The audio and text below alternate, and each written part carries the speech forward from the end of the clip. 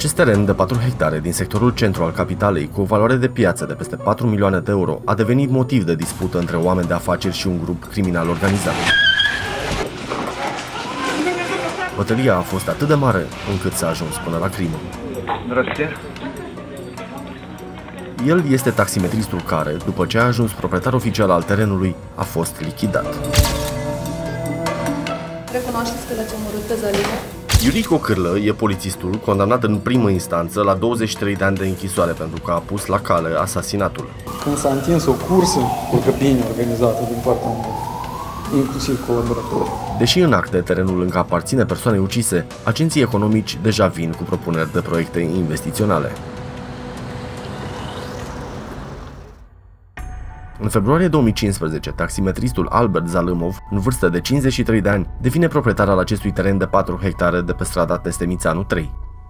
Lotul se află în imediată apropiere a viaductului și este unul dintre cele mai mari terenuri pentru construcții din capitală. Bărbatul, deși în acte deținea acest lot cu o valoare de piață de peste 4 milioane de euro, în realitate nu avea nici măcar un loc de trai. Rudele taximetristului susțin că nu știu în ce afaceri murdare era implicat acesta. Chiar pentru noi e foarte straniu că ar fi un teren. Socul meu, adică era divorțat și toată mea trăia aparte, era așa o persoană fără casă, fără masă, nu? Din câte eu știu, eu de la prieteni, tot, ba la unul, ba la altul, dormeam în mașină Mai mult, la doar o lună după ce a intrat în posesia lotului, taximetristul a fost găsit mort în regiunea transnistreană. Imediat după crimă, procurorii au fost anunțați de Centrul Național Anticorupție că anume persoana asasinată era închetată penal pentru că ar fi obținut ilegal terenul de 4 hectare. Cei care au sesizat CNA-ul erau proprietarii terenului. Este vorba de compania City Development, ai cărei fondatori erau atunci o companie cipriotă și societatea pe acțiuni Locuințe pentru Toți. La rândul ei, potrivit presei, firma a cumpărat terenul în 2006 de la Ministerul Apărării, la un preț de 65 milioane de lei. Când a intrat în posesia terenului, City Development era administrată de Ruslan Bârlădeanu, care ulterior a fost vicepreședinte al Partidului Social Democrat. Potrivit procurorilor, Zalâmov era doar un pion care a căzut în plasa unui grup criminal organizat.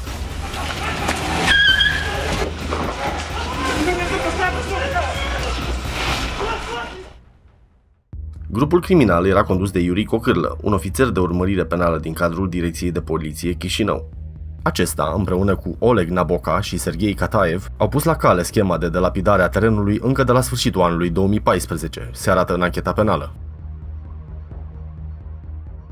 Avea un stagiu de muncă aproape 3 ani, dar uh, și-a inspirat uh, acțiunile criminale din dosarele care le avea în gestiune.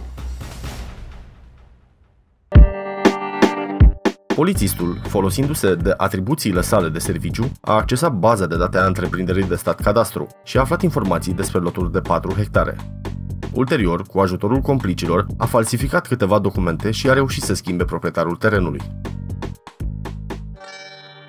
Era o încheiere a instanței de judecată, era proces verbal de petrecere a licitației, inclusiv erau confirmate cu ștampila umedă a judecătoriei centru. A ridicat mostre, desigur, la judecătorii sus indicați, de la executorul judecătoresc, care chipurile a organizat licitația și inclusiv impresiunea ștampilului și am constatat că ele sunt false.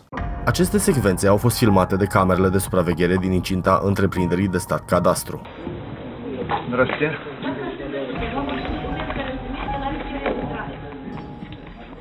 Din imagini se vede cum taximetristul a venit de mai multe ori la cadastru și a prezentat diverse documente. Acestea confirmau că el este noul stăpân al terenului. Studiindu-i ge- dosarele care le avea în gestiune, am găsit actele care dumnealui le-a falsificat, exact ca acte din dosar.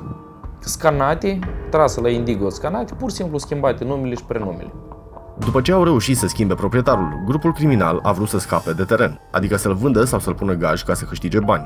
Însă, așa zisul stăpân al terenului era un necunoscut pentru cercul de afaceri din Chișinău. Pentru a reuși să-l vândă, ofițerul de poliție și complicii lui au inventat o istorie. L-au îmbrăcat frumos pe Zalâmov și l-au pus să meargă cu oferta pe la businessmen, companii imobiliare și bănci. El avea o fabulă destul de interesant, precum bani, de bani are nevoie pe perioadă foarte, foarte scurtă de timp, că el e cetățean al Republicii Moldova, a emigrat prin anii 90 în Germania, are afaceri în Germania, în Africa și tot așa.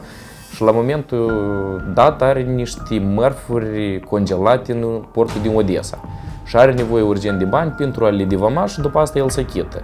Într-un final, Zalemov, condus din spate de grupul criminal, l-a convins pe omul de afaceri Ion Budu să împrumute un milion și jumătate de euro, iar drept gaj să pună terenul.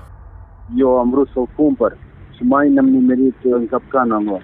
Când procurorii m-au chemat și mi-au spus că au fost actele falsificate, deja de era târziu din parte. Tranzacția însă a eșuat. Autorii escrocheriei nu au putut pune în gaj lotul, pentru că, între timp, Centrul Național Anticorupție, la solicitarea proprietarilor, a pus sechestru pe teren. Chiar și așa, grupul a mai făcut o tentativă de a duce până la capăt planul infracțional. Taximetristul a prezentat la cadastru o nouă decizie de judecată falsă care prevedea anularea sechestrului. Din imaginile filmate de camerele de supraveghere se vede că taximetristul nu acționa singur. Uneori primea indicații prin telefon,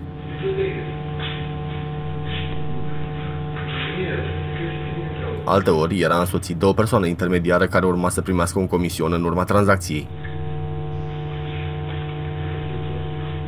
Autoritățile nu au ridicat sechestrul, iar acest fapt i-a pus în gardă pe infractori. Chiar în seara zilei în care taximetristul a prezentat ultimul document fals la cadastru, acesta a fost dus în regiunea transnistreană de polițistul Yuri Cocârlă și Oleg Naboca. Se arată în ancheta penală. Au trecut prin același punct de control, doar că la o diferență mică de timp. Taximetristul pe jos, iar ceilalți doi cu mașina. Peste câteva ore, cadavrul lui Zalâmov a fost găsit aruncat la o margine de drum.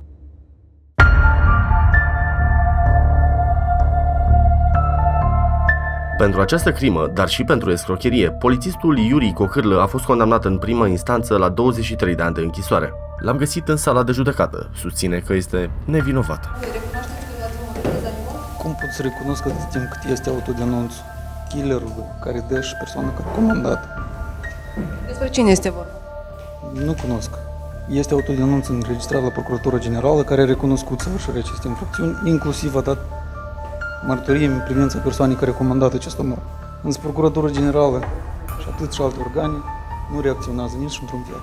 Dacă faceți cunoștință cu sentință, da. stabiliți că el unicul precum că este vinovat, ceilalți doi au fost achitați și pus unicul culpabil în comiterea infracțiunii, precum că de omor, dar e pus ca grupare criminală organizată. De unul singur e pus o grupare criminală organizată. Asta este un absurd. Singurul lucru pe care îl recunoaște Yuri Cocârlă este faptul că a intrat în baza de date cadastru și a accesat informații despre teren. Cu ce scop, nu a vrut să spună. Mai mult, polițistul spune că nu-l cunoaște pe Zalumov. Îl știe doar pe Oleg Naboca pentru că a făcut mici afaceri cu el. Potrivit procurorilor, Zalemov lucra taximetrist anume pe una dintre mașinile lui Naboca. Mie nimeni nu m-a prezentat nici o fotografie de Zalumov, cel puțin să mă întrebi, o cunosc, Naboca îl cunosc, îi dădem în chirie un automobil. Cataev am făcut cunoștință în Nicintă pe 13. Până atunci nu l știu. Conform declarațiilor lui Cucărlă, a nimerit în plasă lui Naboca și cu Naboca a plecat din Republica Moldova în Transnistria, au trecut împreună Vama, cu Naboca a mers și Zalâmov, Cocârlă, după trecerea postului Vamal din Transnistria, a rămas la o stație PECO, pentru că i s-a spus că o să întâlnească cu o persoană care se furnizeze informații ceea ce privește livrarea armamentului din Transnistria și a substanțelor narcotice în Moldova. Cocârlă a stat la această stație PEC timp de câteva ore. Peste o perioadă de timp s-a întors Naboca înapoi, era deja singur, era foarte speriat și a venit în Chișinău. Acesta este autodenunțul killerului despre care vorbește polițistul. Este semnat de un deținut pe nume Dmitri Kim, care stă în închisoare pentru o altă crimă. Denunțătorul scrie că l-a omorât pe Zalumov la indicația unei persoane pe nume Oleg, iar pentru asta a fost răsplătit cu 3000 de euro. Nu a fost luat în calcul acest denunț, instanța a respins. Persoana care este acuzată de omor sus indicat a fost comis în la Botanica în anul 2008. Discutând eu cu închitatorul sau cu ofițerul de urmărire penal care a exercitat urmărirea penal pe omorul dat, menționează că Cocârlă a fost stagiar la dânsul când dosarul dat s-a aflat la dânsul gestiune. Deja, conform logicii, presupunem noi că autodenunțatorul a făcut denunțul sus sindicat la rugămintea lui Cocârlă. Ei, întâlnindu-se în penitenciar și negociind... În timp ce Yuri Cocârlă a fost condamnat la închisoare, Oleg Naboca și Sergei Kataev s-au ales cu amenzi în primă instanță. Человек по имени Залымов, он тебя знаком? Никогда не видел, никогда не слышал. Am vrut să stăm de vorbă cu ei, așa că i-am căutat. Aceasta este adresa unde locuiesc părinții lui Oleg Naboca. Vecinii spun că Oleg vine rar pe aici. Олега вы? Видел его последний раз, когда возле снегопад этот был. Он расчищал во дворе там какую-то машину. Олег? Да, Олег. Ну, я просто выходил, приходил. Ulterior, la telefon, ne-a răspuns o doamnă care spune că nu ne poate ajuta să luăm legătura cu el. Алло, добрый день. Скажите, пожалуйста, Олег здесь проживает? Нет, он живет на квартире, а он с вами не хочет говорить. Nici pe Serghei Kataev nu l-am găsit la domiciliu. Dar puteți să ne ajutați să-l găsim, să vorbim cu el? ajut că nu cunosc cum. Cu mare drag, dar... Dar locuiește aici? Da, evident. Noi am contestat cu apel sentința sus indicată, în parte ce țin pedepsele stabilite lui Cataev și lui Naboc. Noi vrem ca dumnealor să fie recunoscuți vinoveți pentru acele fapte care într-adevăr le-au făcut, pentru escrocherie în proporții deosebit de mari. Iuri Cocârlă, pe lângă faptul că pledează nevinovat, spune că ar mai fi polițiști implicați în escrocherie, dar nu dă nume. Când s-a întins o cursă adică bine organizată din partea noastră, inclusiv colaboratori. Deci alți colegi de dumneavoastră aveau interes pentru acel teren. De cum credeți că așa teren se înregistrează dintr-o simplu prezentare de acte la cadastru și se înregistrează pe altă persoană? Cine au de fapt nu întreprinde nimic. Ca calitate de ofițer de urmărire penal simplu am... Eu nu pot să spun din partea cui. Doar să presupuneri a mele. Trebuia cineva să fie pentru operațiunea asta.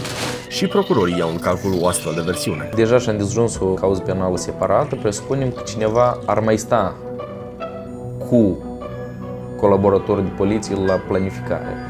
Dar nu am găsit careva probe pe cauza dată și nu am identificat nici o persoană. Colegi de serviciu? Colegi de serviciu.